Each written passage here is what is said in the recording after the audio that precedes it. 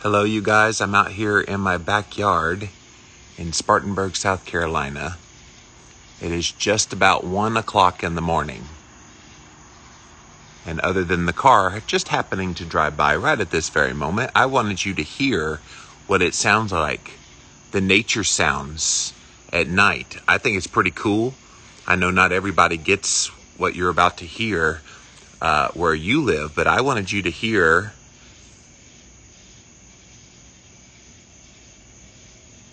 all of the symphony of beautiful sounds that happen at night. So this is I'm in my backyard, Parkman.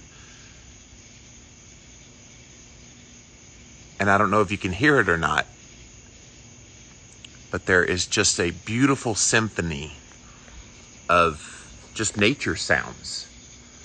And I'm literally standing barefoot in the ground in my backyard in Spartanburg, South Carolina I'm going to be quiet for about 20 seconds so you can hear.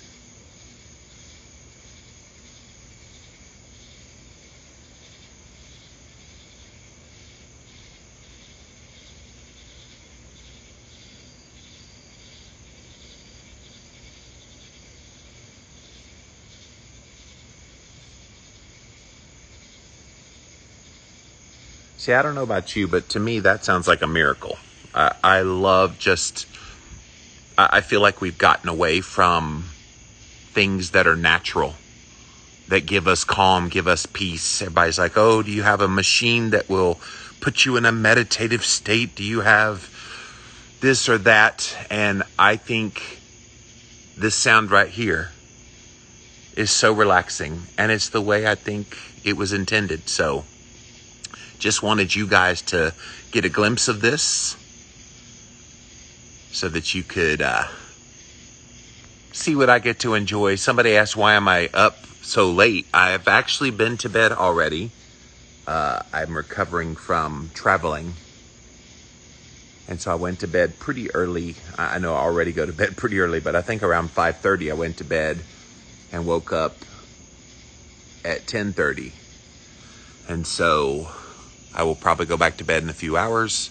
But while I'm awake, doing some work, and I decided to come out here and ground with my bare feet in my backyard while listening to these beautiful nature sounds.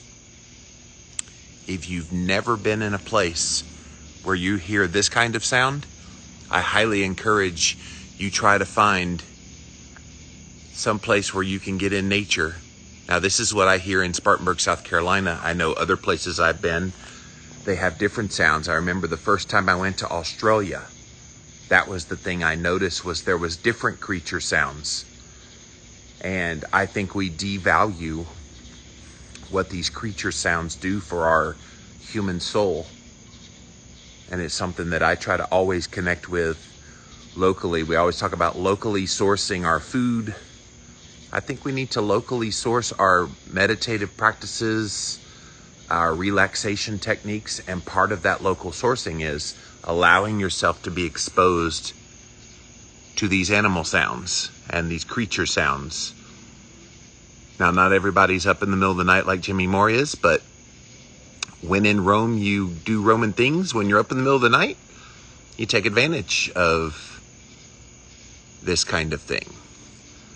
So, yes, just wanted you to hear it one last time all these peaceful peaceful creature sounds. I'm very fortunate because I live right next to a wooded area over this direction. And it's heavily wooded, which means a lot of creatures are in there.